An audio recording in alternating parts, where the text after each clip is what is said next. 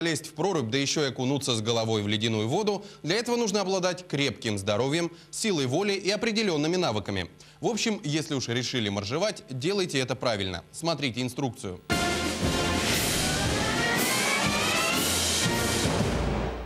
Пришла зима настоящая, с морозцем 20-градусным, крещенским. По традиции, русский народ в крещенскую ночь в проруби купается, очищает тело и душу. Говорят, после такого купания ни одна зараза к тебе не пристанет. И не потому, что вода в проруби святая, а потому, что закаливание само по себе очень полезно. Можно, конечно, моржом на один день стать, но лучше, если холодные ванны войдут у вас в привычку.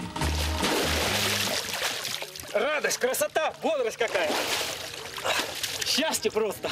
Как легко, хорошо. Современный человек – тепличный цветок. В связи с глобальным потеплением от морозов отвык. Ему бы в фуфайку закутаться потеплее. Знаете, что опасно не охлаждение, а переохлаждение. Человек незакаленный к температурным перепадам не привык, потому простуда к нему и цепляется. Три кита, на которых держится здоровье – солнце, воздух и вода – действуют во все времена года. Мы стоим босыми ногами на земле. Это очень важный фактор, когда стоим босыми ногами. То есть мы одновременно осуществляем контакт с тремя живыми телами природы. Это воздух, вода и земля. Вот это все э, в комплексе, в гармонии срабатывает и не дает переохлаждения. Закаляйся, позабудь про докторов, водой холодной обливайся по системе Порфирия Иванова. Утром и вечером. Основные его заповеди гласят «Почаще бывайте на воздухе и зимой, и летом, с открытым телом. Как можно больше ходите босиком. Купайтесь в любой реке, пруде, озере. Не волнуйтесь, никакая зараза к вам не пристанет. Пленка воды на коже пропустит внутрь только безвредные ионы. Остальное задержится на поверхности. Тело высохнет, грязь отскочит. Учение Порфирия Иванова – это не просто закалка, тренировка это возрождение русской славянской культуры. И по большому счету культуру людей всего мира, всего земного шара. А закалка Порфирия Иманова, она дает, значит, что? Делает жизнь цветную по сравнению с черно-белой, жизнью, такой вечно зависимой. Это жизнь цветная, без проблем. Проблемы есть, но они уходят на задний план. А сейчас проблема как? Как получить больше здоровья? Закаливание холодом полезно для любого человека. Это естественная гимнастика сосудов и капилляров организма. С помощью холодной водицы можно от многих болезней избавиться. Больной, когда уже никакие таблетки, никакие врачи не помогали. Только по одному заболеванию, ревматоидный полиартит, я стояла на учете у ревматолога уже 11 лет.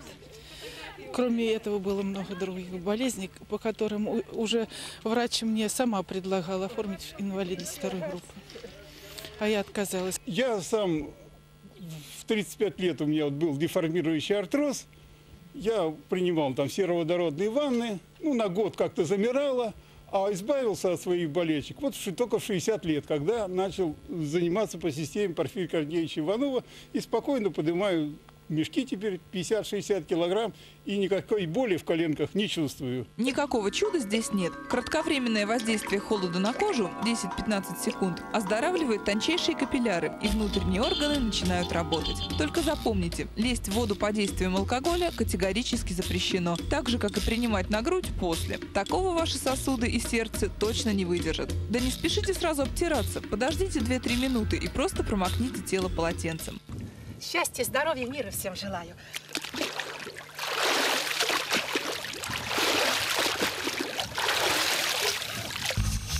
Так что обливайся и будешь здоров. Важно только соблюдать основные принципы закаливания – постепенность, регулярность, комплексность. Лишь при выполнении этих условий можно добиться желаемого результата. Ты должен быть в дружбе, дружочек, с водой. Водою холодной, водой ключевой. Тогда ничего не случится с тобой. Так говорил учитель Порфирий Иванов. Так и не решилась на погружение Екатерина, дежурная по рубрике.